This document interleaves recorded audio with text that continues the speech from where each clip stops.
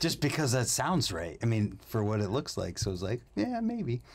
Yeah, it's uh, it's German, so That'll do it.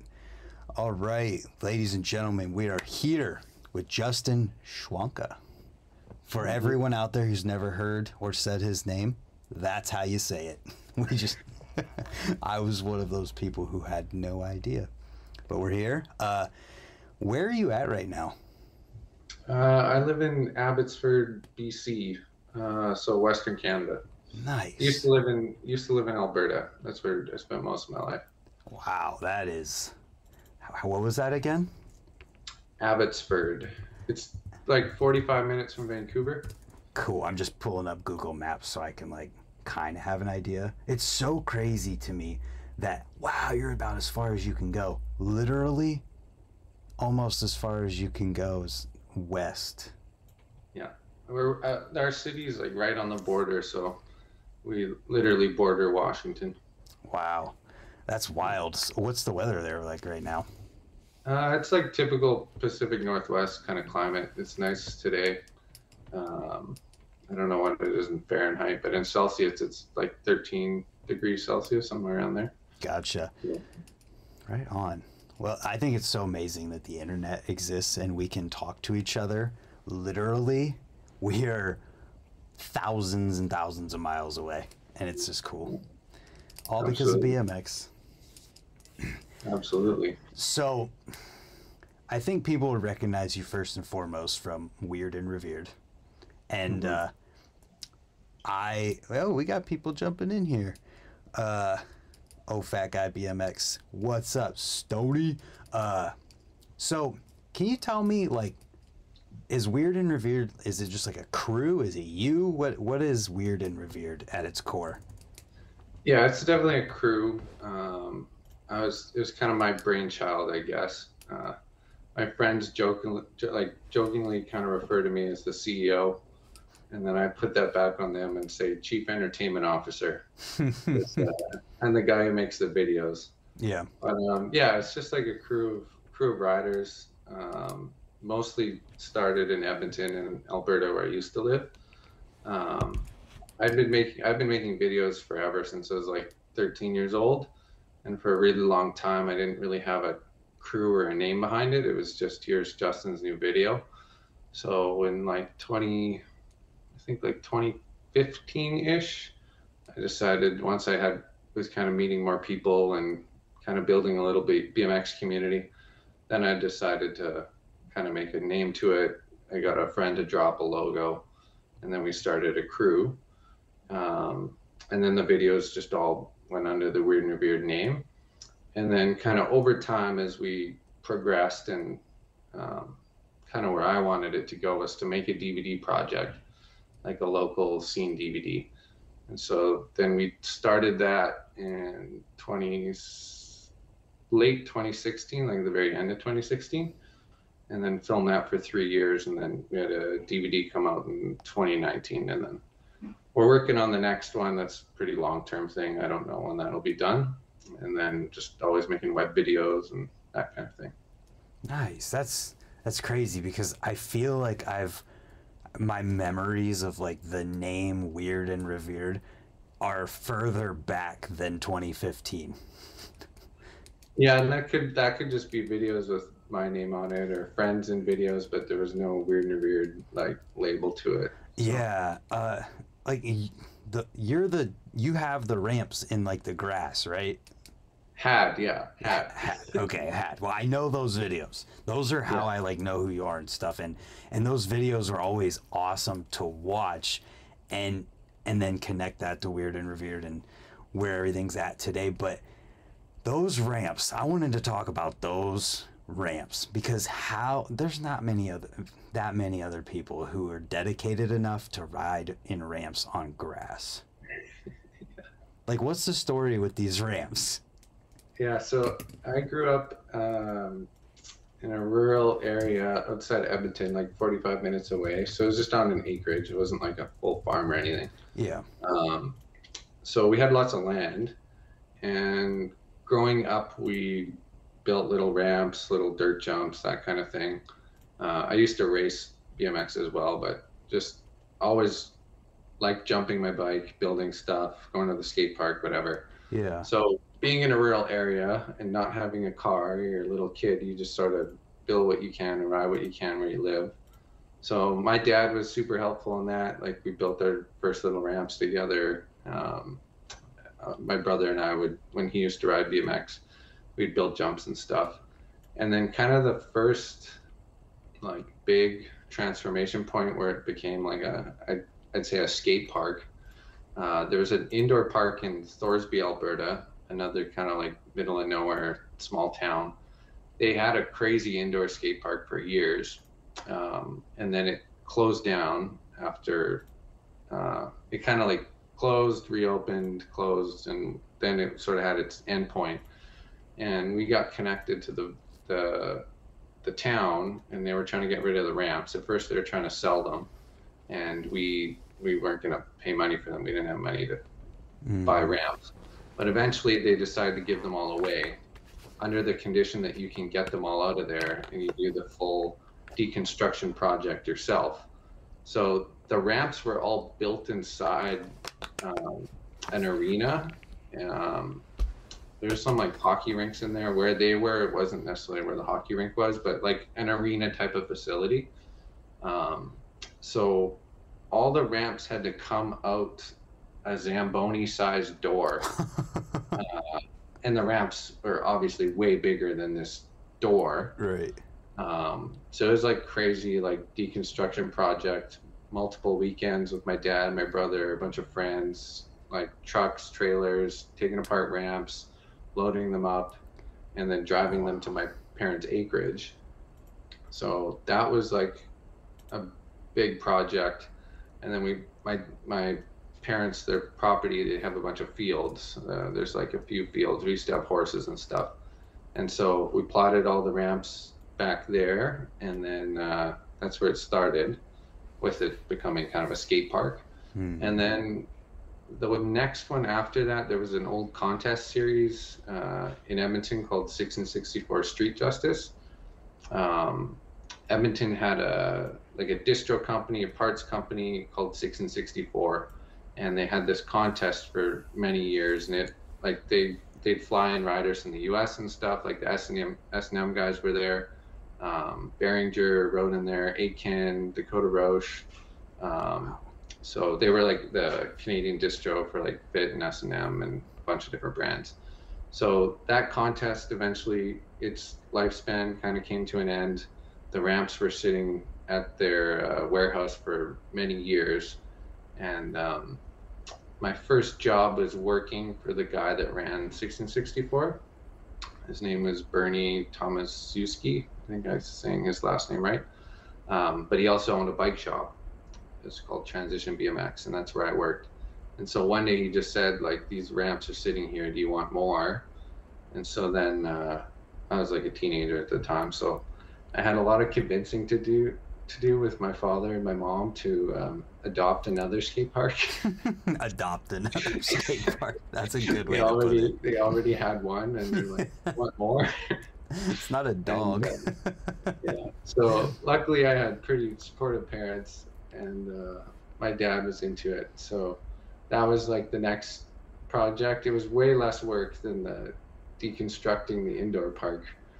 Yeah. Um, yeah. So we got some ramps from that and uh, yeah, set them up on grass. I would kind of like shovel little trench kind of run-ins between ramps sometimes. Mm. Um, but yeah, I mean, it worked for what it was. Some people hated riding it and they couldn't ride it.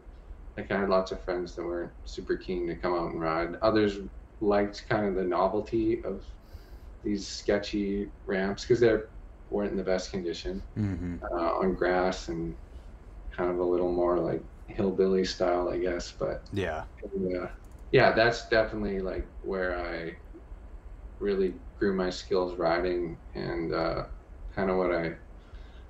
Yeah, I, I became in Canada, especially like who's the guy with the skate park on grass? I mean, it's easy to see why. I have a picture of it pulled up, and it's like crazy to look at. The picture is from uh, BMX Union's backyard BMX Paradise or something or yeah, Backyard BMX Paradise was the post. It's when the ramps are blue and then there's like the big white ramp in the back and like did, all of it got rode I assume at some point, but like how do you ride on grass? like how does that work? There's there's one picture where you're blasting the box jump. Yeah, it's well. So actually, the color. Just to your comment about the color difference.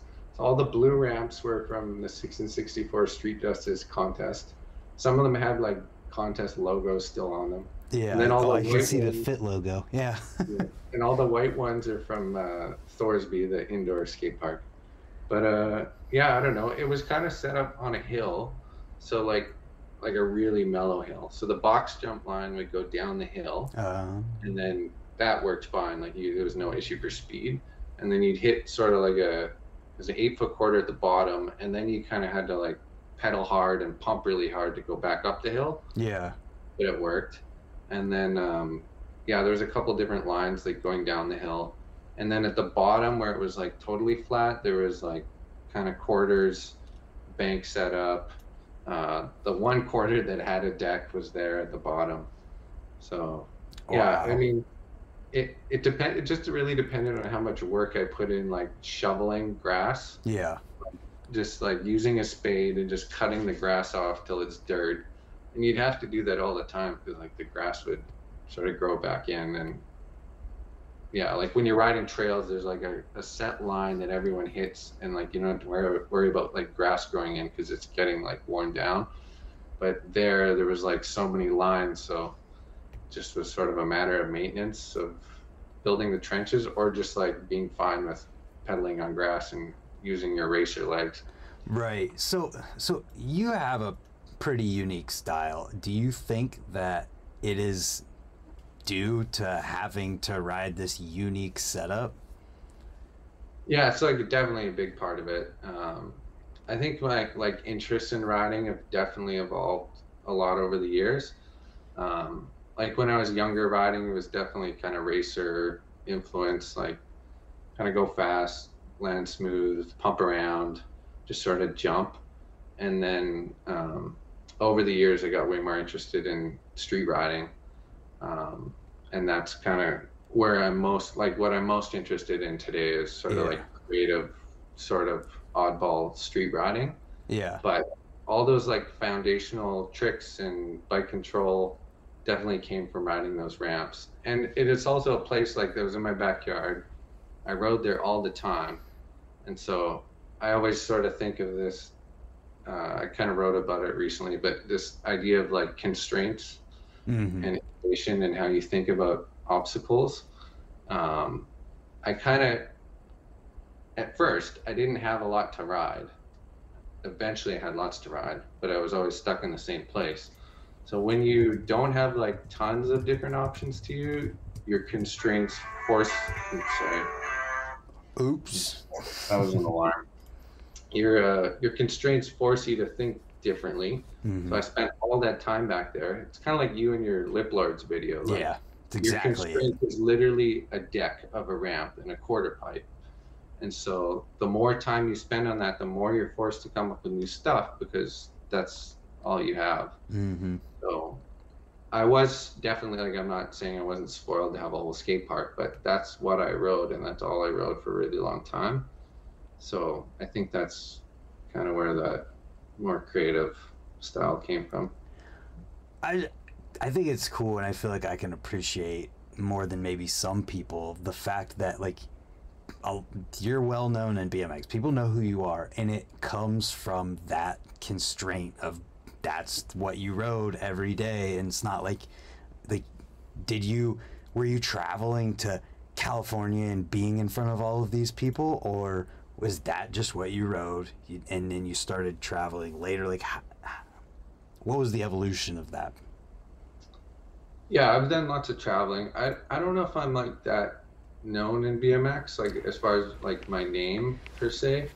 Uh, i think if someone showed them like a video uh, or the backyard or a Weird and Revered video and be like oh that's that guy But as far as like me, Justin Schwanke, like I don't think I have a ton of name recognition, and most of the traveling I've done and BMX projects I've done have kind of been like self-organized and Mm-hmm.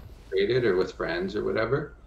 Um, so yeah, like and now I think more recently I'm kind of seeing some opportunities of um, people coming to me with ideas or things to work on or opportunities. Um, before it was definitely just trying to create those myself and or just doing things with friends and whatever. And uh, tons of that traveling um, was definitely for the Weird Revered DVD. Like we we did a ton of traveling filming for that. Yeah. I just feel like I can relate so much to the the self like doing it yourself and not having to like you just go to the place where everyone's at and then things happen. It's like you Yeah. did what you did and got to where you're at by using what you had where you're at rather than traveling to where everyone is. And I I think it's so cool. Yeah, I think I think too. Like I, obviously my like biggest passion is BMX and filming. Like Mhm. that is that is my reason I'm here to exist and do stuff. Like I know that in my heart, like so much. But I think sometimes when I was younger, I was like, oh, should I just like somehow move to California and be a BMX bum? Like I thought about that as a kid. It's Yeah. really hard to like do that, especially from another country like Canada and going there and you need visas and or a work permit and so on. But I'm like, I'm pretty glad. Like I'm very glad I didn't take that path because I went to like I went to university, went to business school. I have a career in business now, and all of that stuff has sort of like set me up a lot better for BMX stuff Mm. later on because I built like a foundational skill set of okay, how do you organize a trip? Like, how do you manage your expenses? How do you do marketing? Like, how can I obviously just like self learning video stuff and filming, but like even the DVD, like, how do we bring all these people together? How do we organize? How do I motivate people? Like, it's kind of like leading a mini team a little bit Oh yeah it's definitely a collaborative thing. It's not like a top-down approach, but Mhm. all that I think is is important because I think if you just sort of go the approach of, oh yeah, I'm just gonna like go for it willy nilly, like it's gonna like hurt for a while.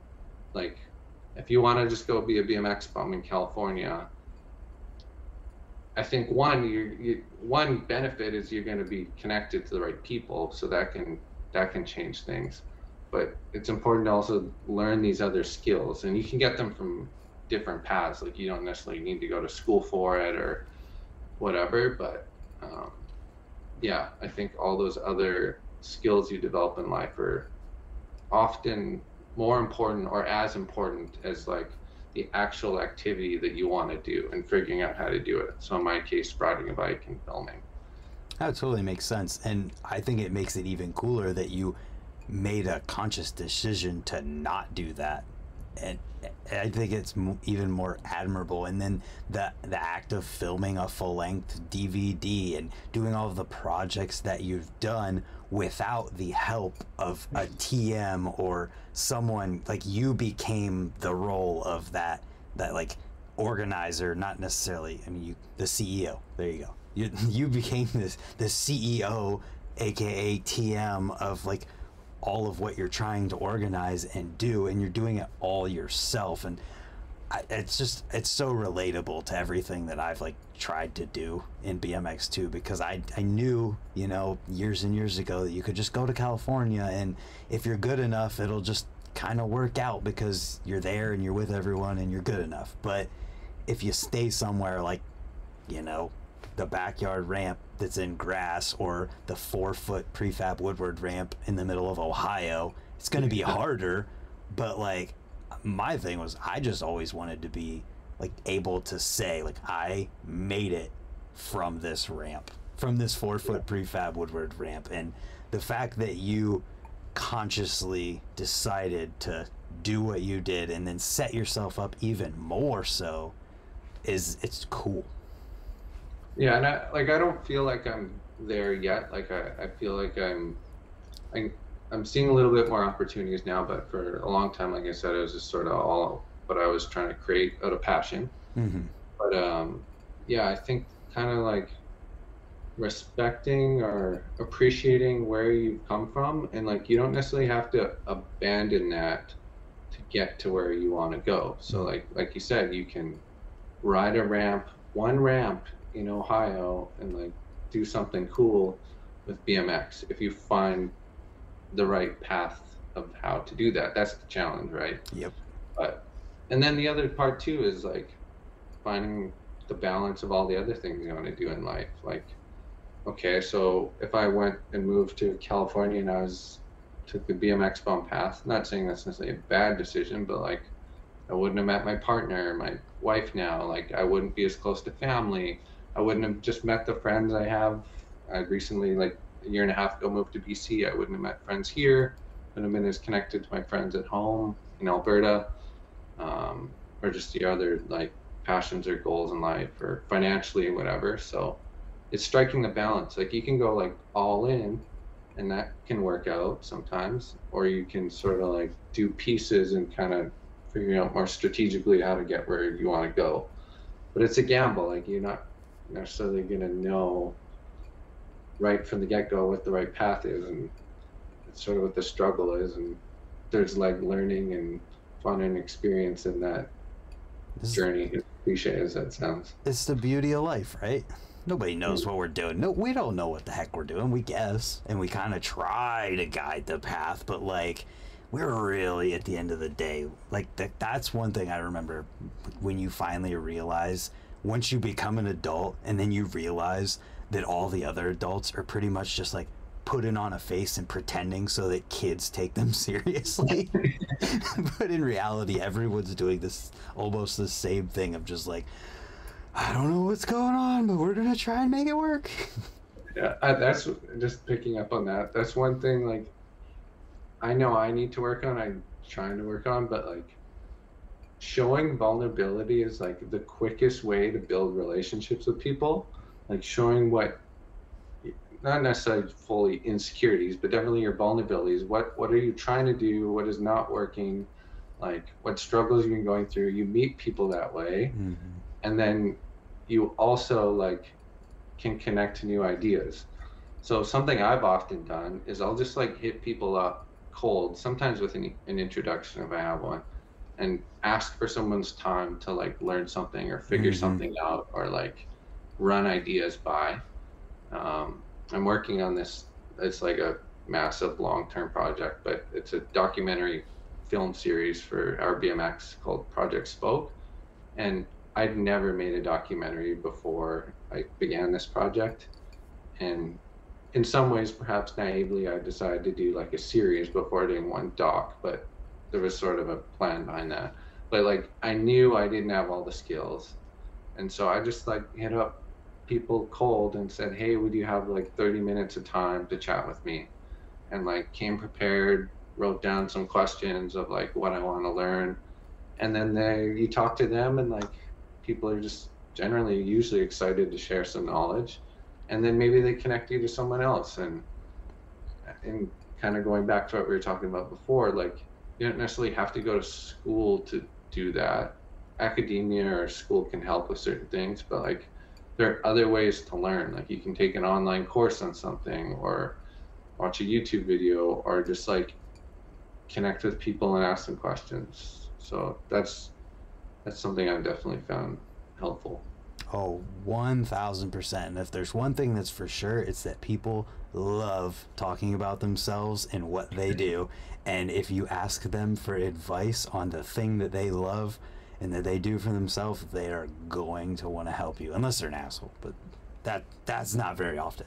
Uh, it's it's interesting to, to hear the, all of these things too, and I just I relate so much to everything you talk about too, in that like I wish that I didn't go to school for video because I, BMX pretty much taught me video and like I t- takes this long to figure it out, but like I think the best way to learn how to do anything is to have something that you want to do bad enough that you'll figure out how to get it done no mm-hmm. matter what you what it takes. And I think that's like a BMX mentality almost. Totally, and I think that's where like having a project is so helpful because like you think this is more business speak, but like there's this um, phrase called your like big hairy audacious goal, and so it's like what's the big thing you want to achieve? What is it? And then you like sort of break it down in parts. And so let's say it's make a DVD. Like okay, I want to make a DVD maybe I don't have the skills to get there yet. And then you sort of identify, okay, what do I like need to learn? Sometimes you don't actually know what you need to learn, then you figure that out as you go. And then you realize, oh, hey, I thought I knew so much and then I know nothing. Yeah. But like at least starting out, it's like, okay, there's the, these pieces. Like maybe I need like two more years of filming before I feel confident in like making a really good DVD. So then I'm gonna make some web videos or like I guess backing up from that, like what, going way back, is just I'm just gonna film clips of my friends, like mm. maybe put them on Instagram or something. Okay, next I'm gonna like make some web videos and like learn editing or like get my filming better. And then okay, let's take the leap to the next one and like let's say it's a DVD. Okay, this is what I need to work on with filming. Like these are the people I want to organize. What do I want it to look like? Watch a bunch of videos, like kind of make notes, take ideas develop a vision and then figure out what the gaps are. Mm-hmm. So I think having a project of some kind is like a very quick way to learn skills. Yeah. Because otherwise you're just sort of like you're drifting around. You don't really know where you're going. You can and you can just be doing these one-off sort of activities, um, but it's not necessarily um, working towards something. And then allowing yourself to develop all those skills as you get there. And uh, what do they call it whenever they give you a thing at when you're in school, even college, whatever it might be? It's a project. yeah, totally. Everything that you do in school is like based on projects. So like exactly what you said just makes sense. Uh, I remember just a bit ago you made a comment about starting filming when you were 13, which is kind of ironic because that's when I started filming too. How old are you? I'm 27. I'm 28. So we are the same person, but oh, uh, U.S. and Canada. we also have the same birthday. Remember? Bro, that's fucked up. What? Okay, all right. So you started filming when you were 13. You're one year younger than me, so it would have been a year after I did let's let's go all the way back. How does that start? Yeah, so at that time, like the only person I really rode with was my brother. So he didn't uh, he doesn't ride anymore, but for many years it was just him and I riding in the backyard. And then like the odd friends that were kind of like biking hobbyists, I guess. They weren't necessarily BMXers, but oh, they were yeah. friends that like to ride a bike off a jump or something. So, yeah, I was, I wanted to get into filming. I guess maybe backing up what inspired that. Um, FitLife was definitely like the video that got me super excited about uh, freestyle. Mm-hmm. I'd sort of loosely ridden freestyle all the time. I started racing at six years old, and then I was still like jumping my bike off of things, and like if I could get my parents to take me to a skate park, I'd ride it. But so you had knowledge I, of what BMX and freestyle was like way before that then. Yeah, but I wasn't like interested or I wouldn't say I wasn't aware of the culture. Yeah, right. Okay. When I saw FitLife and also Road, Road Fools, like I think Road Fools 11 and 12 were like the first ones I got. That's kind of my era, I guess. Um, yeah, but FitLife, I watched that video and I'm like, this is so sick. How can I be a part of this? I'm so excited about this. Mm-hmm. And uh, yeah, that was the video. Like, I decided, okay, I, I want to buy a video camera. So I just whatever saved up money as a kid. Um, I've always been pretty frugal, so it was, I don't know if it was allowance money or doing odd jobs or whatever. I don't really remember. Yeah. But I got I bought a video camera. Um, it had those like mini DVD tapes. Dude, this, is, this is like messed up because I started on a point and shoot, like one of the first point and shoot digital cameras, but then my mom had one of those DVD camcorders that I would use too. Yeah, I was just, I had a Sony Handycam. That was my. That's what my mom's was. yeah. That's so messed up. Anyways, So, uh, yeah, I started filming on that. It was mostly like me filming my brother and then him filming me, and more so him filming me than me filming him. Um, and uh, I edited the videos. I had Windows Movie Maker, oh yeah, and uh, just I think my first my first video, the, all my old old videos are on Pink Bike. Like they're still up there. wow. my Vimeo account got deleted somewhere along the line, so all that stuff's gone. But it, everything is kind of backed up. I guess it's all on Pink Bike. So my very first video didn't have music. I think it was called Backyard Sessions or something like that. And then I think the next one had music, and then I just kept working at it and trying to get better at editing and whatever. And the videos were horrible for a long time and my writing was also not good. Like I just my skills weren't developed and whatever. But I mean, when you're a kid, that doesn't matter. And Right. in hindsight, like I I still I actually some people um, don't like watching their old stuff. I watch my old stuff kind of regularly, not like all the time, but I'll go back every now and then. I'll be like, oh, I'm gonna watch this video from like 10 years ago or whatever. Yeah. And what I love about it is you're sort of like taken back to the mindset that you were when you were a kid doing that. It's like, yeah, all I could do was 180. This video is all 180s. That's all it is. 'Cause I, like- and I just learned I didn't have many skills, but there's something like kind of um, pure in that or beautiful in that. It's like, no, that's just like how old I was and this thing I was working on and something I was excited. It's a time capsule. Exactly. That's yeah. the way I look at videos because I have videos from the time I started up till now, and and that's I do the same thing. Like every now and then you get in that kick where you're like, oh, I remember about this video, so then I go back and watch that one. You watch a couple leading up to today, and it's like just cool. Yeah, I don't. Yeah, and I, I, I say to people like, you don't have to be embarrassed about like your past or what your skills were before or now. Like it, it just doesn't matter. unless you're a really big jerk or something. but yeah, so so you started on the uh, the Handycam DVD camera, filming videos. They're on Pink Bike. How do things progress? Um, What was the next camera? How long did you film Yeah, next- that one? yeah, next camera was probably around 16 or 17 years old. That would have been that. It was a Canon Vixia HFM 52, which is a dad cam, but it was HD. yeah, it's like one of those old. hard drive cameras. Yeah, exactly. So before that, it was just uh, SD, low quality footage. Then it was HD. By that point, somewhere along the line, I got in a better editing program. Mm-hmm. Um, I don't know if it was on one of the. I don't know when I got Adobe Premiere, but there were some like weird random ones in between there that I didn't really stick with. But yeah, and I think a big part of it was just like. Really, I guess what really changed is once I got my license at 16, I could spend more time away from home and meet people. Mm-hmm. I always grew up in a rural place. I wasn't like I wasn't super far away from everything. It was 45 minutes from a big city like of a million people, but there weren't really many riders right where I lived. Once I was of driving age, then I started to meet people, go to the skate park, find people to film with, build friends, community, Yeah. and that kind of thing.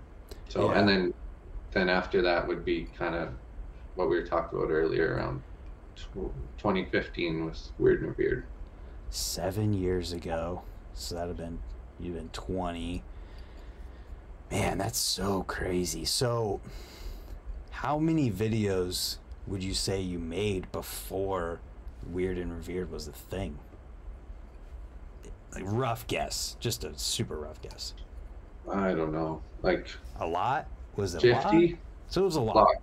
Lots, yeah, lots. That's- And I never really, I mean, this is before social media was a thing, so Mm-hmm. I didn't just film clips and I put have a clip and put it somewhere. Yeah. I always made videos Right. and edited videos. So yeah, I, like fifty. I don't know. Post them on MySpace. Like, hey, share this, share for share, pick comment for pick comment. Check out my YouTube page. I remember those days, man, when because it, gets cold where we live. Like it gets even colder, I'm sure, where you live. So like, it's winter time. You made these videos. Did you have an indoor park growing up? they came and went. So there was that that Thorsby one was like the uh, sort of the scene staple, Mm-hmm. and that it's like it's end years were when I was really starting to get into freestyle. Yeah. There was another one called the Warehouse in Sherwood Park, which is another suburb of Edmonton, and it kind of ended around the same time Thorsby um, was gone, and then I was lucky to also have indoor an indoor setup in my dad's uh, shop. Ah.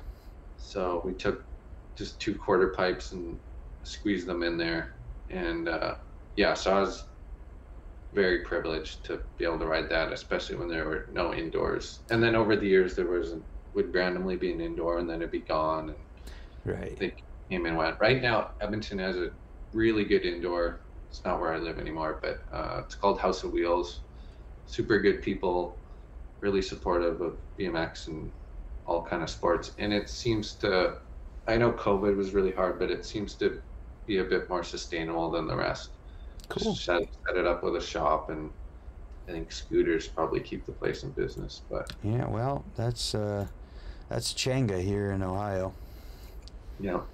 that man it's it's just cool to hear and i don't know i feel like i'm enjoying this a lot just because we have such similar stories in bmx as weird as that is it, it's a wonder that we weren't born on the exact same day like same age same day same thing started filming at 13 filmed on this random thing because you didn't want to move to california like made this video series or crew, whatever you want to call it. Like, that's so cool. So, at this point, what you were filming the Weird and Reveres on the uh, oh uh, Beatrice, she's on the other side of Canada, the Bloom BMX. yeah. Uh, she's in the chat, but uh, did you start filming Weird and Revered with the Vixia, or was there another camera after that that started Weird and Revered? Um, I think it was with the. Yeah, I had a GoPro too. Yeah. That was like my fisheye. There you go. I, I think a lot of people did that though. Yeah, and then uh, once I started the DVD, I, or a little bit before the DVD, I bought like a mirrorless Sony Mm. A6000 Yeah. fisheye lens, and then just had the kit lens, the long lens. Mm-hmm. And I still have that camera. I still have that Vixia dad cam. I don't use it too much, but if I need a good rocker zoom, Oh yeah. or maybe B-roll or something, or I just want to take it out of the bag and film something strange happening. Uh, and then I got a Sony A6300, and uh, I have like a portrait lens now for the documentary stuff. But I, I'm not a camera nerd. Like same thing with I'm not a bike nerd either. Like I don't really care about the gear, the specs, or whatever. That's Sort so of the, wild. the cliches. Whatever. I'm sure you've heard this. Many people have heard this. The best camera is the one you have. So. Chase Jarvis, man. The best camera is the one you have with you. Oh, is that in the chat? I don't see. No, that's the guy who said it. Oh. Chase Jarvis is the photographer who said that. Oh, that's Oh, he's like a famous photographer. Yeah, he's a real big name. I only know of him because there was a, a YouTube channel called Digital Rev TV that would Mm. do uh, cheap camera professional photographer challenges. And so they Yeah. bring in these like huge name photographers and give them like a Barbie camera and make them do real like make them do street photography or something with these super crappy cameras. So of course like they get Chase Jarvis, the guy who said that quote on there, and just make him use the biggest piece of junk camera that they can find. And there's a whole series of those. It's it's crazy though that that you not aren't a bike nerd or a camera nerd, but you're like you do both as passionately as you do. Well, uh, yeah, I'll clarify that. I'm not a bike nerd or a camera nerd, but I'm a riding nerd and a filming nerd. Yeah. Like I like if someone wants to talk to me about bike parts and like what's on my bike or the latest technology, I kind of glaze over. Mm-hmm. It's just there's nothing wrong with that stuff. Like I think everyone has different like things they're super excited about in BMX, and Yeah. for some people it's like products, and that's cool. But for me, it's definitely more um, the riding and what you're doing with it. Doesn't matter what it is. One thing, one reason I like I sometimes when I talk to people about who don't know like BMX culture or know what BMX is, and I I kind of pride BMX on this, I'll say one cool thing about BMX is that maybe compared to say mountain biking or something is if you go to the skate park and there's someone there with the worst bike ever but they like ride it super super hard and like Mhm. they're going for it or they're just really talented that's the coolest thing ever Oh yeah. but if you're like the guy at the skate park with the nicest, fanciest bike, and you're not really riding that well, or like not not necessarily riding well, but like not passionate or like in it, You're just sorta not like- riding at all. yeah, that's not cool. And and Yeah. so I think that's one thing I, I think is so awesome about BMX is like kind of that uh, DIY, rough around the edges ethos Yeah. is uh, you make the most of what you have and whether that's like crappy spots or like a crappy bike or whatever just like even the idea of street riding or riding in general and getting hurt trying stuff i think that's that's usually what i the anecdote i use to describe bmx as someone who doesn't really understand the cultural piece of it Yeah, the we all know that one person who at one point in time or another, maybe even it's always, just had the crappiest bike in the group but rode harder and better than anybody else. yeah We all know that guy. Um, I forgot to ask when we were still talking about cameras. Do you still have the Handycam DVD camera? uh might be in my parents house somewhere it i didn't get rid of it it's It's somewhere. I don't, think I brought it with me when I moved, but I haven't used that thing in ages. If you find it, we should do another one of these and just gather all of our old cameras together and just do like this is the one we started on, this is the next one because I still have it, all of them too, yeah. all of them except for like I think one, which is yeah. I mo- like th- two of them are sitting right here, but uh so so we're now we're coming to more towards the the present and that filming passion I noticed uh seems to have gotten you to go on that trip with the colony people. Were you the one documenting that or were you there riding too? No, uh, that was fully a filming thing. Um, I was just uh, connecting with Adam Watkins at Our BMX um, about the documentary project I'm working on. Yeah. uh, just kind of planning out travel dates for it. Everything got like messed up with COVID. I uh, I'll keep this anecdote kind of brief, but I le- left in January of 2020 to go start filming that documentary series, and it was Mhm. traveling all over the place. And it was supposed to go to the end of April, and obviously March of 2020, the world changed a lot. Yep. So when that happened, I was in at that point in Albuquerque, and then I had to come home. Um, so I came home, and then everything's kind of been sitting on hold. Yeah. So, anyways, now this year that things are opening up, I'm gonna go traveling again for that project. So I was just doing some planning with Adam about that and dates and whatever, and then he mentioned that um, they were just trying to find someone available to film uh, that colony trip Yeah. uh, just with the existing guys he had everyone was busy or schedules didn't align so that's kind of how that opportunity came and then i, I knew steve uh, steve woodward from i'm doing one one of the documentaries i'm doing is on his story Oh, So- nice. steve and i have become good friends so had that connection and then yeah uh, i got to go to arizona in february and film joey battaglia steve and patty uh, patty gross and um, that video will actually be out on Monday. Nice. What a then- group of people. Yeah, it was it was an awesome trip because uh, all those guys ride totally different. Yeah. Oh like yeah. bit- they're all a bit older, so they have um, a lot more maturity to their riding, Mhm. like how they approach spots and setups and what they want to film and the tricks they do. And everyone have brakes. Yep.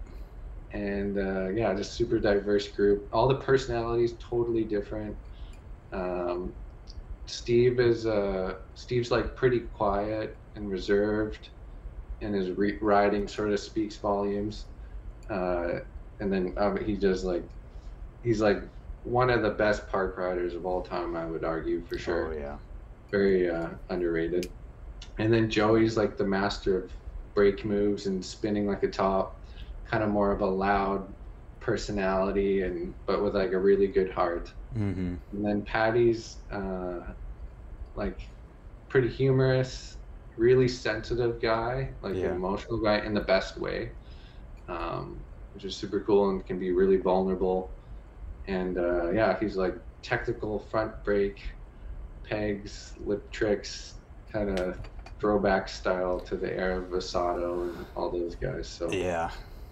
the dynamics of everyone riding and then the personalities is just really good crew of guys. So I cannot wait to see this video. yeah, it's good. Yeah. Those three people are just they make one big tech machine and all together I that's gonna be good. Yeah, I hope people like it. They uh, they're definitely talented. So we hope. I think we might try to recreate that trip at some point. Yeah. Not necessarily to Arizona, but the same crew. So Mm-hmm. that's kind of up in the air right now. We're just sort of talking about that, but I'd Nice. love to get together with those guys again for filming something. So was that your first uh like gig other than Project Spoke? Mm, well, Project Spoke was kind of like my creation, and then I found a partner for Oh, it, which okay. was Our BMX. So they didn't come to me. I kind of built out a plan. I Gotcha. um, did a bunch of research. I, I basically made like a proposal. Um, so that was that one. I've done random little freelance things like uh, Feast was in Edmonton for a number of years, so I was working for. It was through the city of Edmonton, but um, it was basically doing promo jam events and videos to promote that. And then Feast also had a magazine, an online one. I don't know if they still do, but I had like I did an article in there about the Edmonton scene. Um, I helped Fudger film the Toyota Triple Challenge a couple years ago um, when I was actually doing Project Spoke. Um, then I do like kind of freelance, uh, non BMX stuff, corporate stuff Hmm. sometimes. I don't really do much. Try not to do much of that. I don't um, have a ton of passion for it, but Right. something comes up. So I've done like little bits of pieces, but um, most of the stuff is just passion projects for sure. Cool. but I cool. yeah I, I definitely hope to be um, be able to do more stuff, um, more opportunities of filming and people asking me if I can help. That'd be awesome. Yeah, man. Just being in the industry that way and just it's cool. It feels good.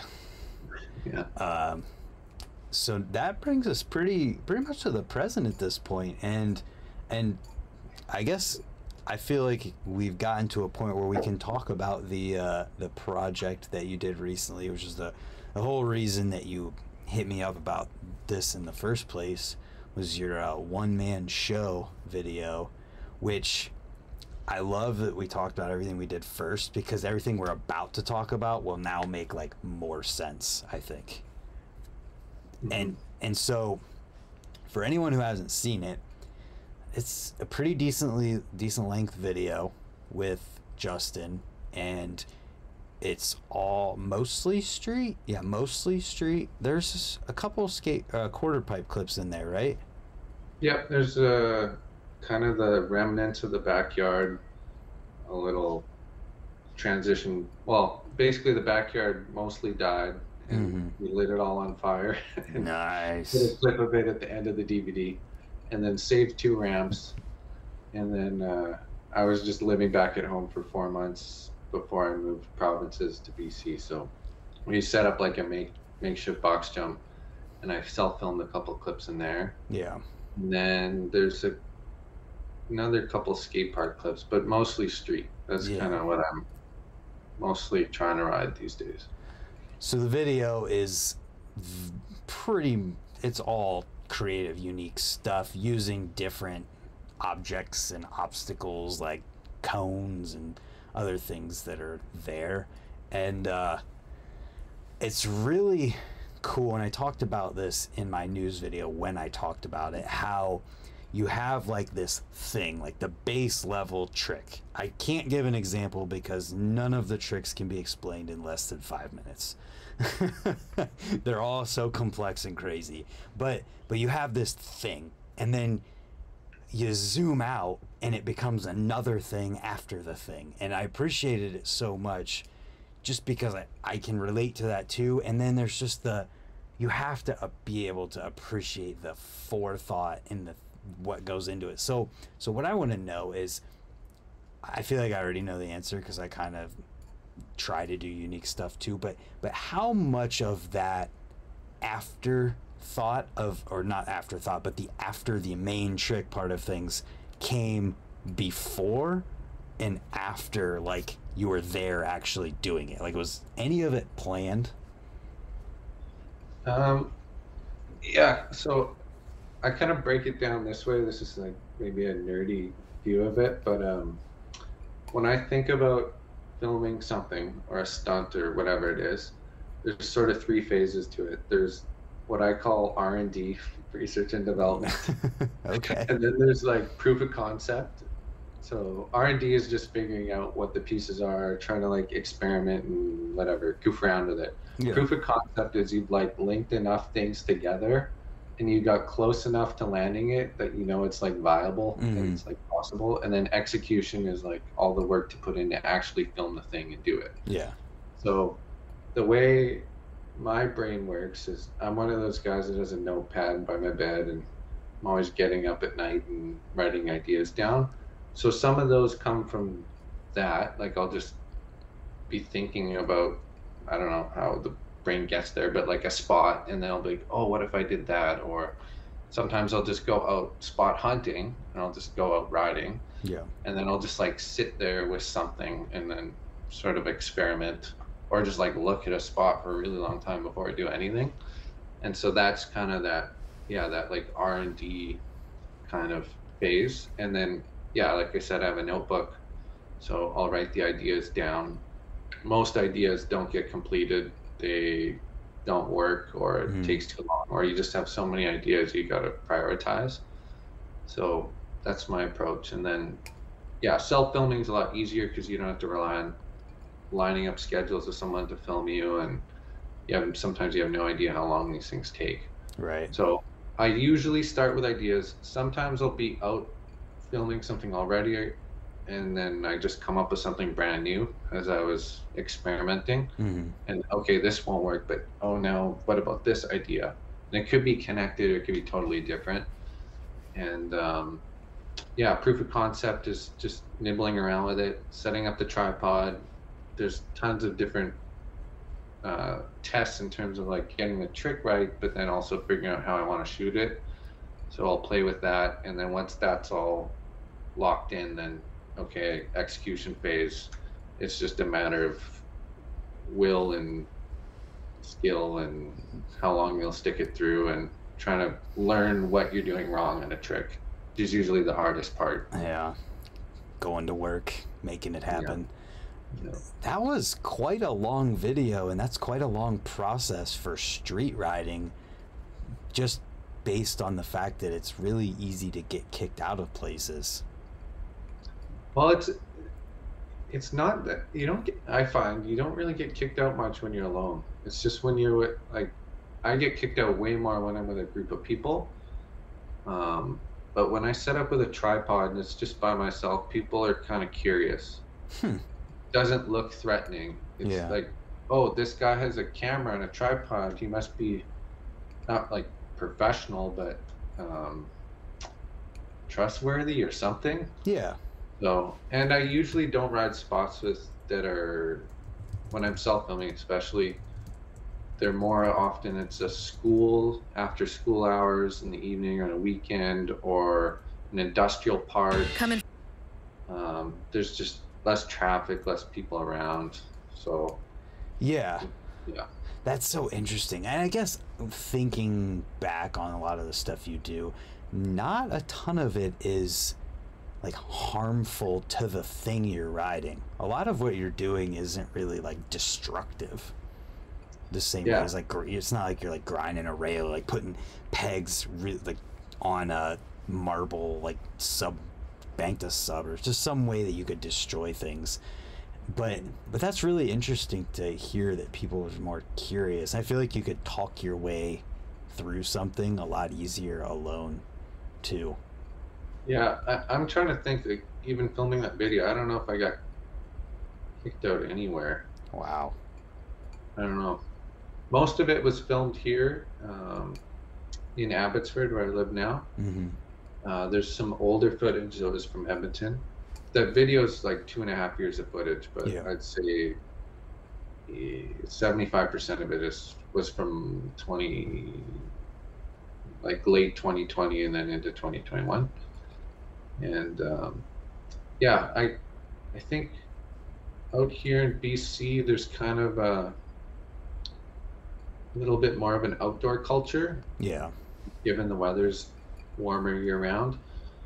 Uh, sometimes I'll say this to, again, kind of a non BMX audience, but this idea of outdoor culture in, say, Europe versus North America is very different. So you go to Europe in certain countries, people are just outside doing things all the time. Young people goofing around. Um, you don't have to look like you're like you have an objective and there's no harm in loitering really. Like you just sit enjoying being outside. Like for example in germany there's flat ledges that just have coping on them just cuz Huh. or and then here in north america we don't really have an outdoor culture. People do some outdoor stuff but when people come home they make dinner they might sit in front of the tv whatever. And then you see like a bunch of young people outside gathered usually men in the bmx community Yeah. sometimes when but especially if it's men people are like oh what are all these young guys doing like they must be up to something and then Mm. obviously the stereotype brain kicks in and they fill in all these blanks that may or may not be true about people.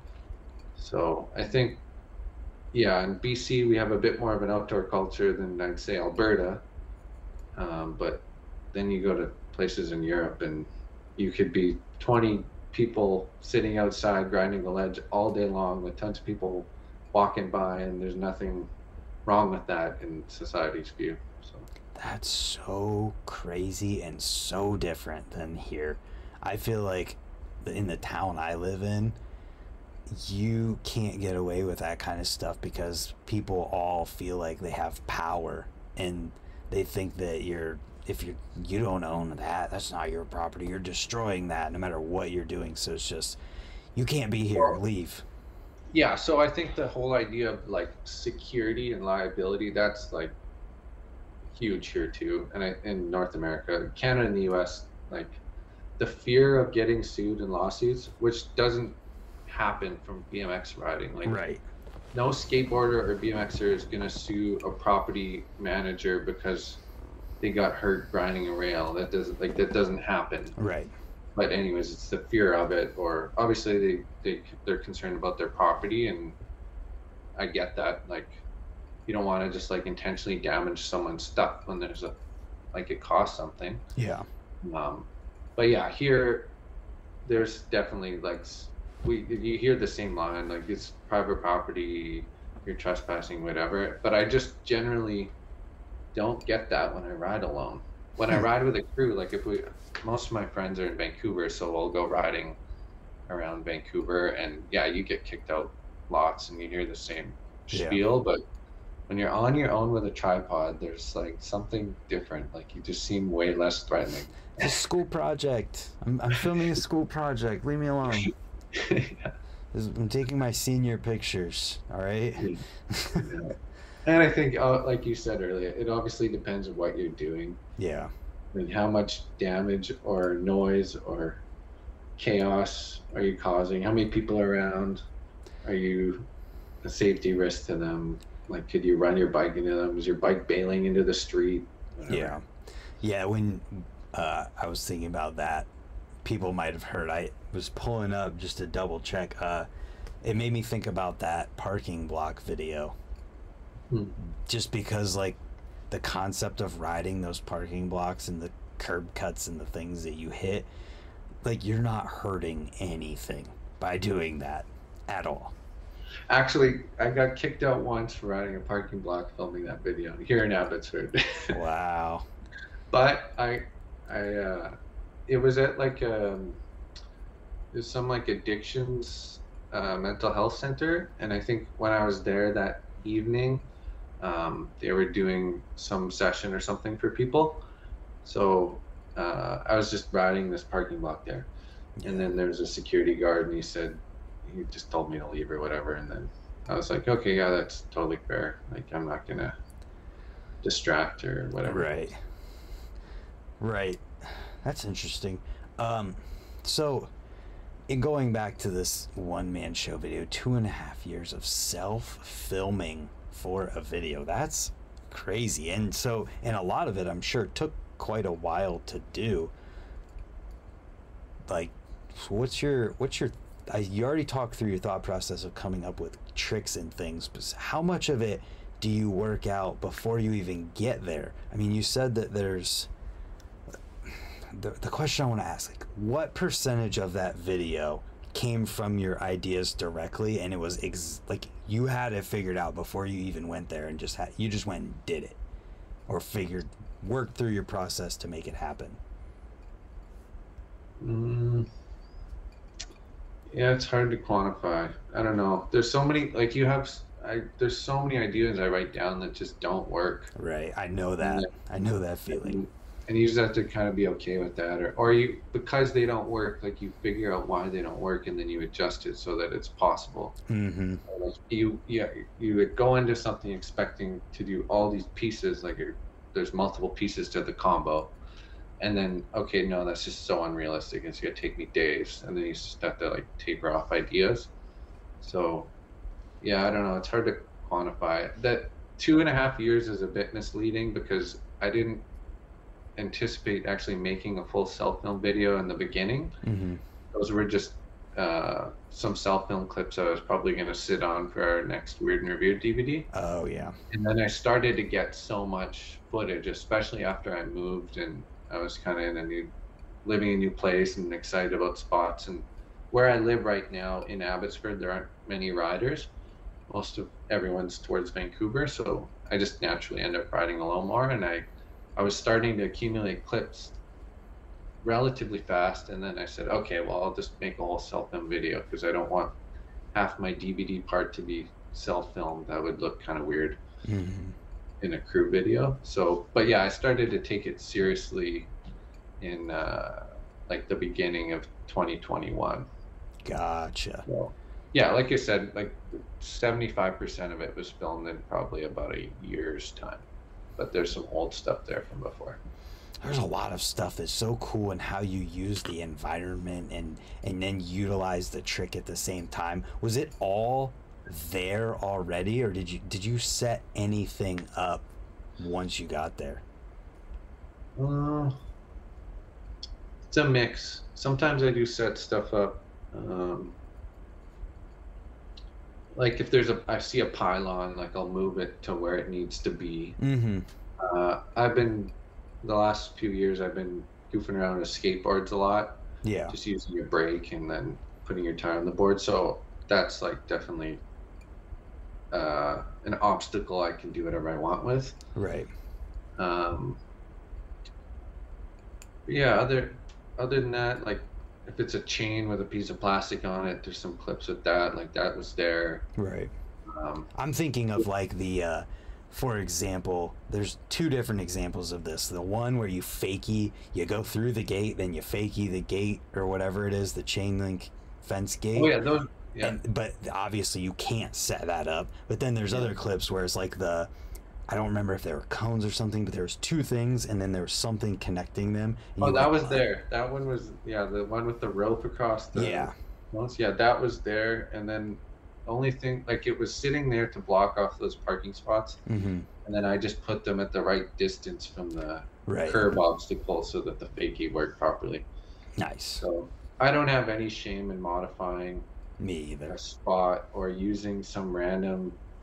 My friends call them toys. They're like Justin's just got to pull out all his toys, whether it's a skateboard or like a, like a dolly thing with wheels. Or, Mhm. So yeah, if I got an idea and I need a piece of equipment or a tool or some garbage to make it work, I'll set it up and like I don't care.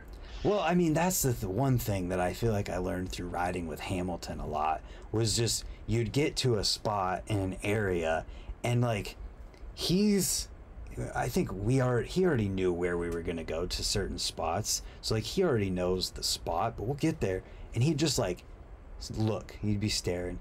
And then I remember one time specifically, we get to the spot we're riding and I'm just like hanging out riding this little bank to parking block before we ride the other the real setup and I looking around like he's just gone like where did he go and then he comes back with his skateboard wheeling this like fake brick wall thing.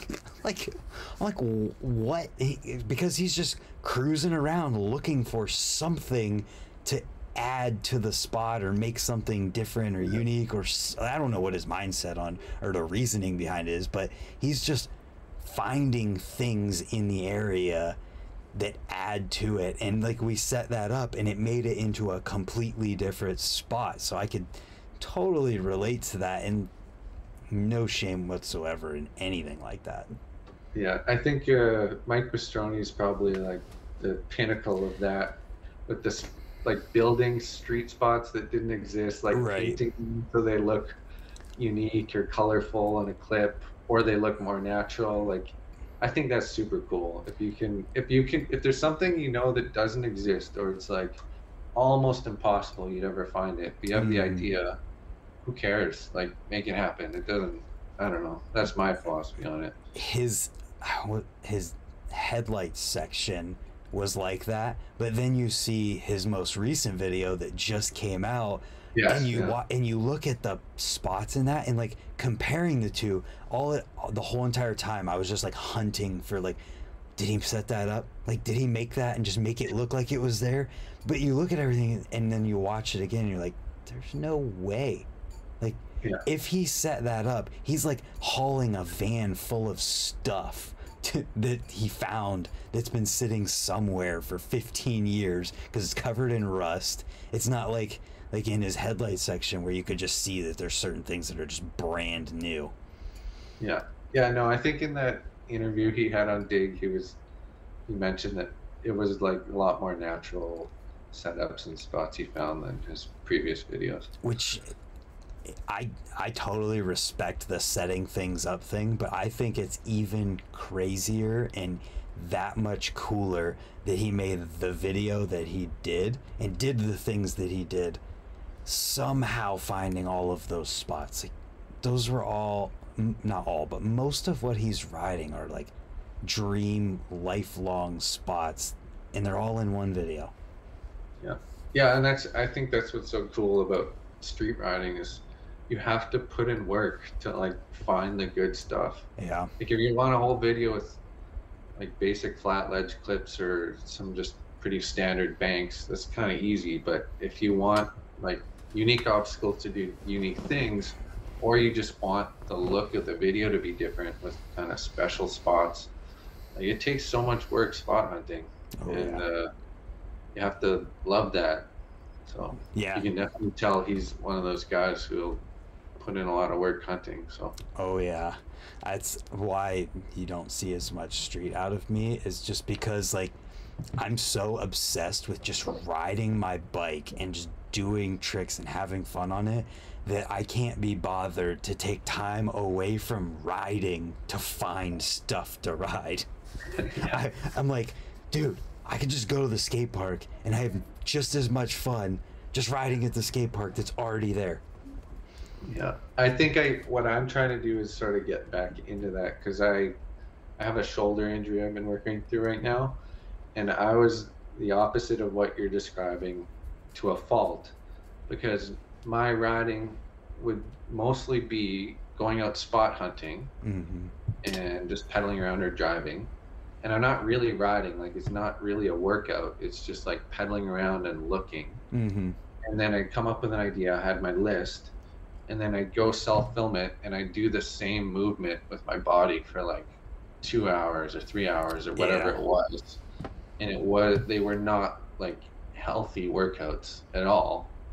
And uh now I'm like eventually pretty much from self filming that video and then this is maybe another diet trap but a big issue with muscle loss um, i went through this thing navigating the medical system as i was losing a whole bunch of muscle and not really knowing why but i was pretty much right like as that was happening i still had enough strength and excitement to ride and we didn't know what was going on Mm-hmm. and I was just pushing it too hard with the lack of muscle, Oh. and uh, yeah, I wasn't getting full, wholesome workouts. I was doing uh, lifting weights a bit, trying to make things work, but I wasn't gaining back muscle. But anyway, so yeah, now I'm trying to like re-enter that balance as I've been doing physio for my shoulder, doing just uh, weightlifting workouts, but then also just riding and trying to go to the skate park. I'm just starting to ride again, pumping around, like doing a variety of moves and maneuvers on your bike. Because the, the self filming crazy commitment sessions is like just two hours of just like straining one part of your body like Mm. over and over and over and over again. And it probably goes the same thing with some of like the lip tricks and stuff you do that take a really long time. It's like, okay, I'm just gonna like stretch my back for two hours straight the exact same way, and then hope that like the adrenaline carries me through till the end, and then I get the trick, and then I'll just like deal with the consequences after. But that only works for so long. Yeah, don't get me wrong. That's pretty much every single session I have. I might be at the skate park, but I'm still spending like two hours because I suffer from, oh, I want to do this trick, and then I'm trying it, and it takes a minute, and then i I'm like, oh, if I do this first, I can add, I can make it a line, and then I figure that part out, and so then I'm just, and then slowly I get closer and closer. So then I'm like, oh, I'll do this before that, and then I, it gets to the point where it's like an, a minute long and, and then at the end of it is the original trick that I couldn't even land in the first little bit anyways and that is every single time I ride Is that whole iterate, iterate, iterate, iterate, iterate over and over again until it's like what we were talking about earlier. It's something that you're really excited about, but then you just go off in these rabbit holes sometimes, and it's like, no, you should have just like sometimes less is more. Like it doesn't need a million more things. Sometimes it does, but it's I guess it it depends on what it's for like if it, if I'm just filming for like a random if it's not even for anything specific I'm just filming the session to be on YouTube later I don't think as much about that. It's more like, oh, I just want to do this, and then I my brain adds on like fifty other things to this already hard thing. But but if I'm filming a dedicated specific clip that I'm intending to use for lip lords or an edit or whatever it might be, I almost I rarely add to the beginning or end of it. I guess that's probably because most of what I do is so freaking hard in the mm. first place that it, it just it would make it impossible for me to do in any in like a reasonable amount of time. There's definitely times where it's happened or I think most often when what you asked about happens is if I land something too quick exactly, yeah. if I land like if it's a Lip Lords clip, for example, I'll just give I'll give away one that I filmed and I'm I put it in my bike check because I'm gonna do more for it. But I did the uh, the Foof Ice Tap Pedal 270 Foof. So I was I learned that and I was like, oh my god, I can do this. I was figuring it out and then I landed that once and I was like, oh man, that was like that wasn't bad. I guess I have to add more to it. So my idea is like, okay, I'm getting to another Fufanu again, a 270 Foof out of this pedal stall. I'm just gonna go to ice and then tap pedal 270 again. And so that's where that's the Lip Lords clip. Now I have to go around twice because the first one was too easy, and that is when that happens. Yeah, I know that feeling. It's so human brains are so funny because you do something you think is really cool or you want to, and then it's too easy. Like you didn't like the carrot came too quick. Mm-hmm. Like the journey to get to the carrot. The string was too short. Yeah, exactly. yeah, and that happens so often for me. I mean, I don't know. I just I don't know if it's like a self torture thing because it feels like everything I do takes so long to do, and I I don't I struggle with like, is it because I suck or is it because the trick is that hard? And then if I get it too quick, I don't know if I'm like, well, I guess I got to make it harder because either I I was too good for this trick or it or whatever. I don't know. Well, I think you're also doing writing that like do you're connecting ideas that people haven't connected yet. So you have all your like foundational stock tricks, mm-hmm. but maybe other people haven't connected them in the way you have. So like, of course, to innovate takes forever. Like it's innovation doesn't happen quickly. I guess it's frustrating. so and then I'm sure you, uh, maybe you don't. This is a great question to ask. But for in examples of like filming for that video, and when I film stuff, I get to a point where I'm like, this is not even fun. I'm only doing this because my brain is like, you have to do this. Otherwise, yeah. you're going to die. do, do, yeah, no, do you have that? Or do you, where you get frustrated, where you're like, oh, is this, this isn't even fun anymore. Why am I doing this? I, I'll give you an example of that, like the most extreme example I've ever had of that. So in the in our Weird and Revered DVD, it's called Vagabond Squad. Yeah. There's a clip in there I self-filmed in my parents' garage when those when that those ramps existed in there. Uh, it was go up a quarter, foot jam, rear tire grab yeah. to crank flip like as you sit in the foot jam, yeah. and then go out fakie. And uh, I've done both those pieces separate, like a foot jam rear tire grab and then a foot jam crank flip, but I hadn't connected them. And uh, cumulatively that clip and it's not even like the best hardest thing i've done took 25 hours. Wow. And i had to go like i lived in edmonton and so i'd go and like visit my parents for dinner like maybe once a week or once every couple weeks. And then i'd go and like ride in the shop and try to self film this clip and it wasn't even something i was that excited about at the very beginning i thought oh this will just be like an hour of time, maybe two hours or whatever. Yeah. And like I kept not landing it. And I'd like I'd go home, drive home from I think there was like maybe four or five, no, probably more than that, like six trips, seven trips to go and film this thing. Wow. And every time we like, why am I bothering? Like this isn't even that cool, like in, at least in my radar of what I want to do. Mm-hmm. But I was like, if I quit, like, what does that say about me? What does that say about? I can't quit. I'm not allowed to quit. and so it just came became this like metaphor for like I don't know identity. I I totally get it, man. I, you know, I think we're this is like therapy for us right now. I think we, I just had a breakthrough. I think that the reason I do that is like it's like a struggle to identify with yourself and just make sure that you're still yourself. Like you you're finding yourself through these things and just making sure that you still are who you are. Yeah. Yeah, it's a character thing for sure. But at the same time, I think there's like there's definitely growth and wisdom of knowing when to quit and like when to move on and when to be okay with that and I definitely don't have the balance on that figured out. Yeah, too. yeah, me either.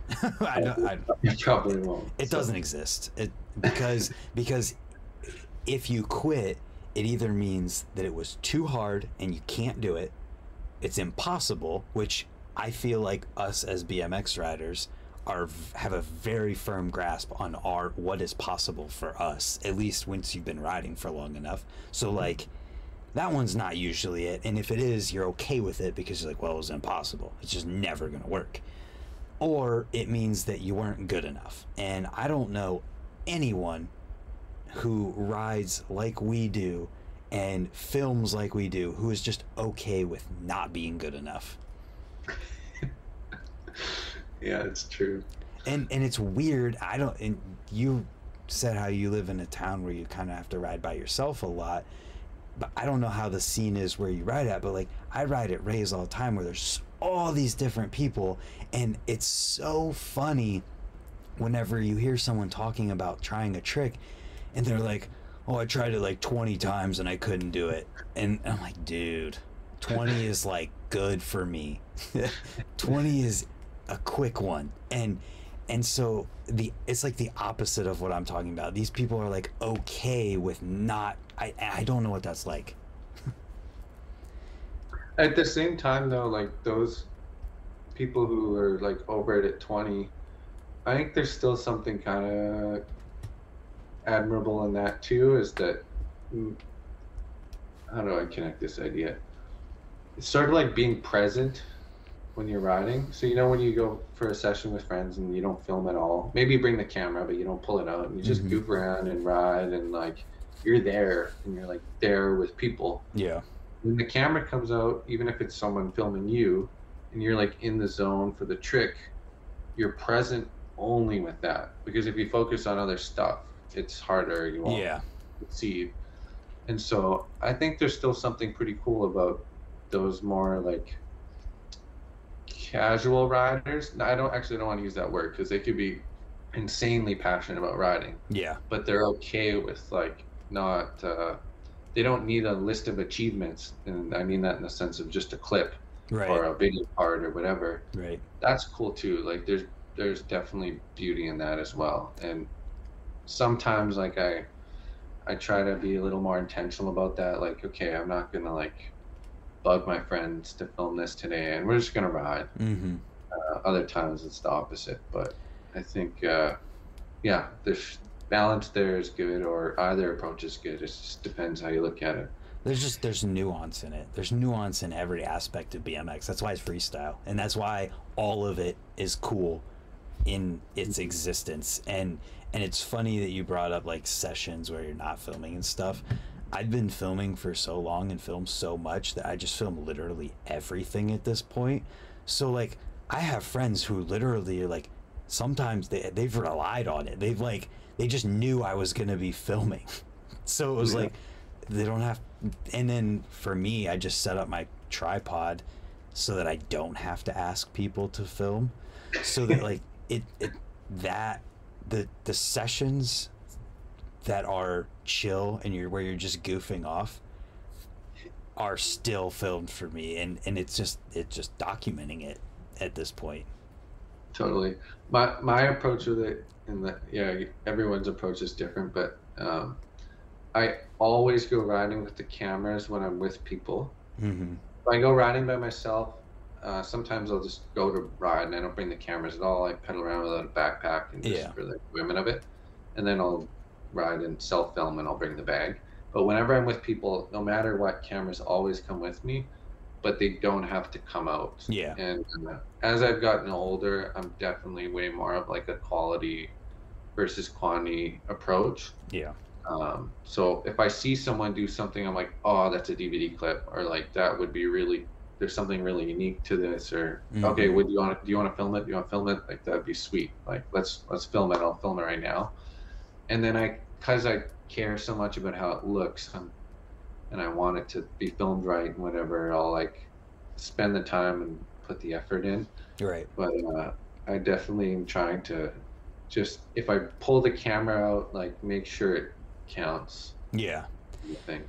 Absolutely. The best ones are where you just you get the camera out without even like giving someone an option of or like asking if they want it filmed. Like, sorry, this is happening. You're already doing it. I'm filming it because this is way too good to not. Yeah. Those ones are awesome. Um, what I was trying to get at that I totally just lost my train of thought on before is that like even though I'm filming, most of the time, I've it's become that filming and being present in the moment are like the same thing for me. It it's weird, but I, it's how it's been for me since I was 13. I've literally filmed everything since I was 13 pretty much. yeah, for me too like the riding and filming are the same thing. Yeah. Like I'm not just a BMX rider. I'm not just a filmer. Like those two things are like kind of one and the same to me. Because like I said, I bring the, the cameras out every single time unless I go for just a solo cruise around the neighborhood or at a park. Yeah. So yeah, and some people that that thing's shooting photos or I don't know, maybe there's other pieces as well, but So, after I hide these freaking spam porn bots in the chat, uh, what are you working on now? Like, what's what do we have to look forward to other than we know Project Spoke will be coming eventually? Uh, what's going on now? You said you were working on a DVD, but that's more long term. Yeah, Pro- Project Spoke. I'll get back to filming it. Uh, I'm leaving in July, and that'll be in. Uh, I start in California, LA, San Diego area, and then we're gonna do. Some of us are gonna do a road trip from there to through Vegas just for a couple days. Salt Lake City. Be spending a bunch of time there for some docs with uh, two different riders, and then going to the East Coast like Philly, New Jersey, um, that area. And when that whole project's done, at this point, I have no idea. Yeah. Like, I thought I had a clear timeline on it, and then and I was like not working at that time. Like I left my job with when COVID before COVID started. When I started this project, I wasn't working. I was like, I'm not going to work for this amount of time, so I can finish the project. And then that all blew up with COVID. Yeah. So I work a normal job now, so it's just when can I put in the hours to edit and whatever. So right now I don't really know when that'll be done, but it'll be done one day. Yeah. And then uh, the Weird and Revered DVD, it's kind of hard now because my friends all live in different places. Mm. Like I got my buddies in Vancouver, our little crew here, um, but then a bunch of guys are in Edmonton, others are in different parts of BC. One friend like moved to the other side of Canada, so everyone's kind of split apart. So that'll just sort of be when people have enough footage, it'll kind of be done. Yeah. And then, um, yeah, those are the main ones. The Colony Arizona video coming on Monday. Then there's some bike checks and stuff with people. Those will come out after. And yeah, once my shoulder's good, I definitely super eager to get back to self filming. My brain's like way overstimulated because I haven't been riding. Yeah.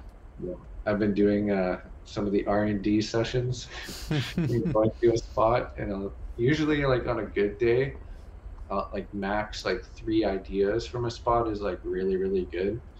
But now like just the other like three days ago, I went to a spot that I never really spent much time at, but I knew it was there, and I had eight ideas, and I'm like, oh man, like I gotta I gotta go. I want to ride. I want to ride, but Yeah.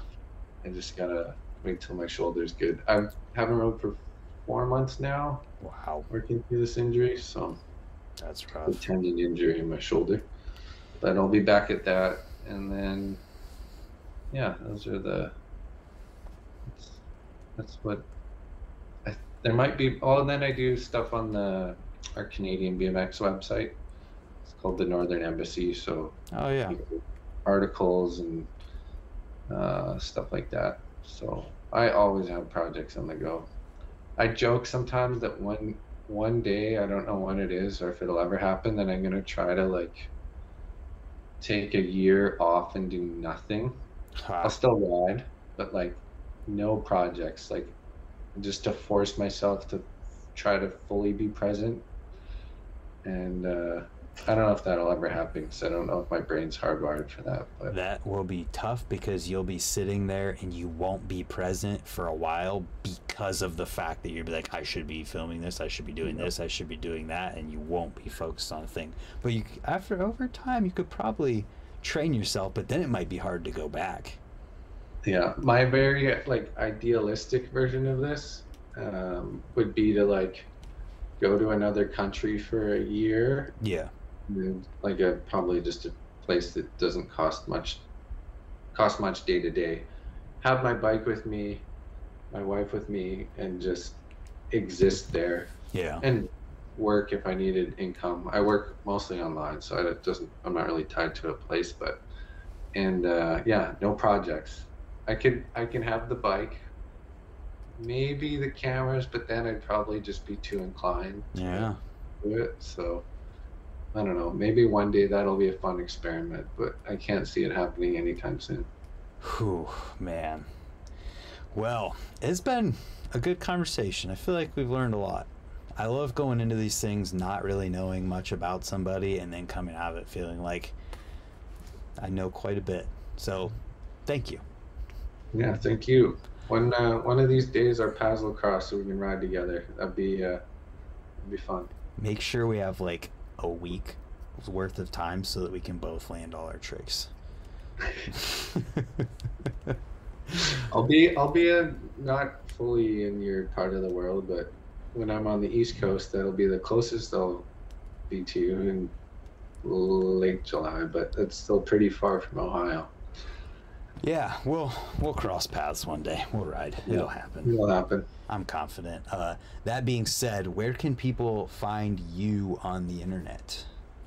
Yes. Um, I made a personal Instagram account back in December.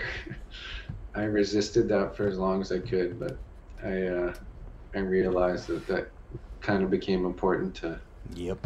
promote my stuff. So uh, that's at justinschwanke.mp4. And I made a portfolio website at the same time. So that's www.justinschwanke.com. And then I put like my whole archive of all the stuff I made is on there videos, photos, articles, podcast stuff, and so on. Cool. So basically, if you want to see anything that Justin here has ever made, other than maybe the Pinkbike stuff, is it on there? There's like a section where it says all the old videos can be found here. ah, so you can find it. There you go. They're findable, and I have no shame in all those old ones. There's, yeah, I, in the same exact way, I have an old YouTube channel. People can find it. The only thing you won't find on there are old uh, metal screaming cover videos that I did when I was 15. Those don't exist on the internet, and I'm glad I turned them off before people figured it out. very smart. Yeah. that being said, check him out. He's got a lot of stuff out there if you haven't seen any of it. And uh, subscribe here if you haven't. And we'll see you tomorrow for another video. Good night, everyone. Thanks so much, Ben. Yes, thank you too. Boom. We're out.